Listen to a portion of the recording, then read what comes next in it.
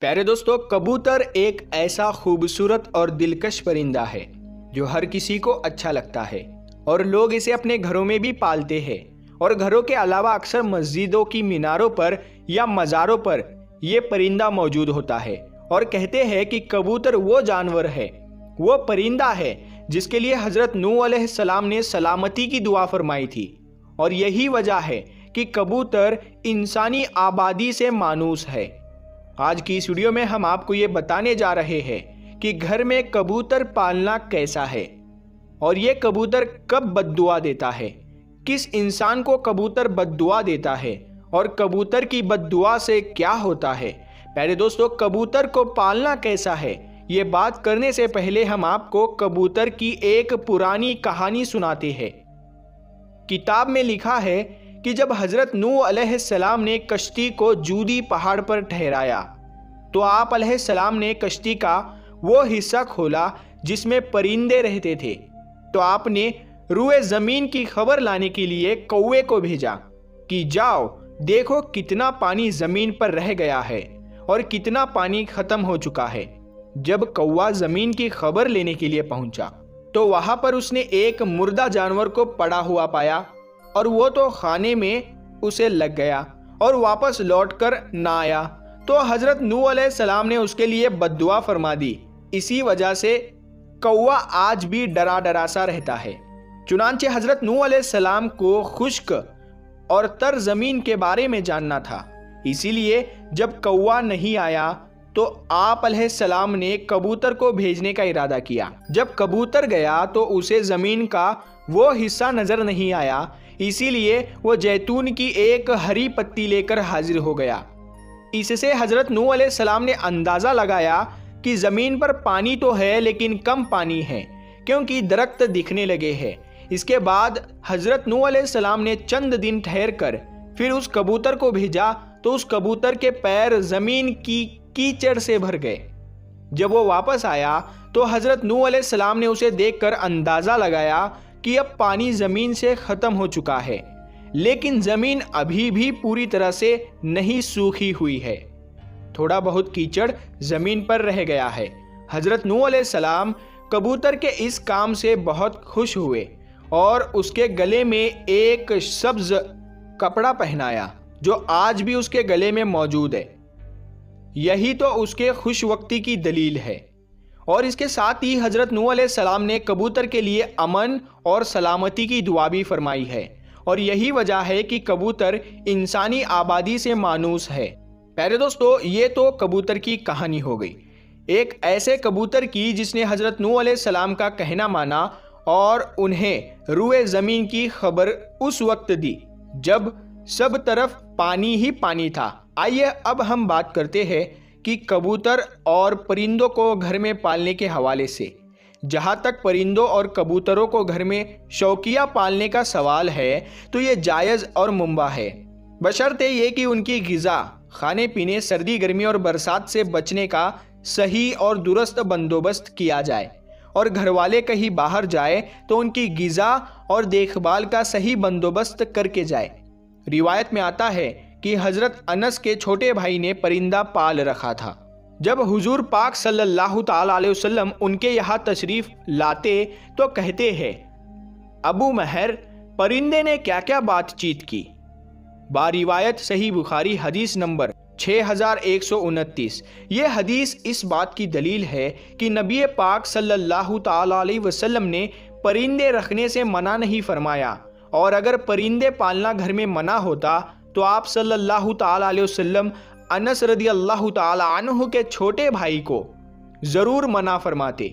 दोस्तों, इस रिवायत की बुनियाद पर यह कहा जाता है कि घर में परिंदे पालना जायज़ है, लेकिन जैसे कि पहले भी ज़िक्र हुआ है कि इनके पालने के लिए ज़रूरी ये है कि इन परिंदों की हर ज़रूरत को पूरा किया जाए, ताकि परिंदों को किसी भी किस्म की कोई तकलीफ़ ना पहुँचे। चुनानचे कबूतर भी एक परिंदा ही है, इसीलिए कबूतर को घर में पालना दुरुस्त है।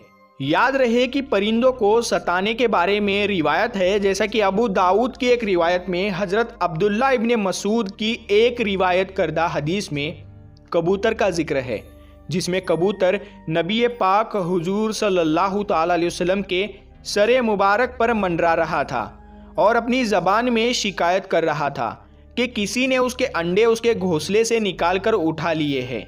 हुजूर पाक सल्लल्लाहु अलैहि वसल्लम ने सहाबा में ऐलान किया और एक सहाबी ने अंडे उठाना कबूल किया।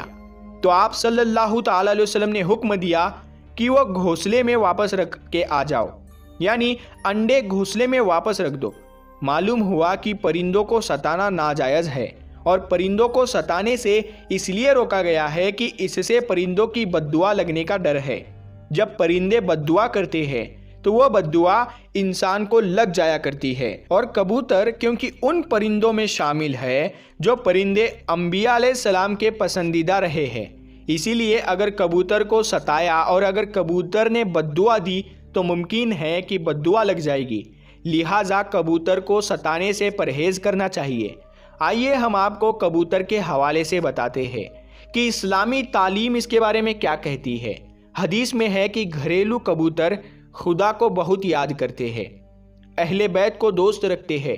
हुजूर पाक सल्लल्लाहु अलैहि वसल्लम की औलाद को दोस्त रखते हैं और साहिब खाना के लिए दुआ करते हैं। और अल्लाह तुम्हें बरकत दे। एक शख्स ने रसूल पाक, हुजूर पाक सल्लल्लाहु अलैहि वसल्लम से तन्हाई की शिकायत की। तो नबी पाक, हुजूर पाक सल्लल्लाहु अलैहि वसल्लम ने फरमाया कि एक जोड़ा कबूतर का पाल लो। दोस्तों कबूतर पैगंबरों के पसंदीदा परिंदों में से एक है। कबूतर, घर में रखो, क्योंकि हज़रत नू सलाम ने उसको पसंद फरमाया है और दुआ दी है कि किसी भी परिंदे पर इतना प्यार नहीं आता जितना कबूतर पर आता है। आप सलाम ने फरमाया कि जिस घर में कबूतर हो, उस घर में रहने वाले जिन और शयातीन से महफूज रहेंगे, क्योंकि जिन के बच्चे घरों में खेलते फिरते रहते हैं और जिस घर में कबूतर के बच्चे होते हैं तो जिन्नात उस घर से दूर भागते हैं। जिन्नात के बच्चे दूर भागते हैं। उनका ध्यान आदमियों की तरफ़ नहीं जाता। इसी तरह एक और रिवायत में आता है कि कबूतर का जो पर झड़ता है, वो सेहत, इनकी नफरत और भागने का सबब होता है।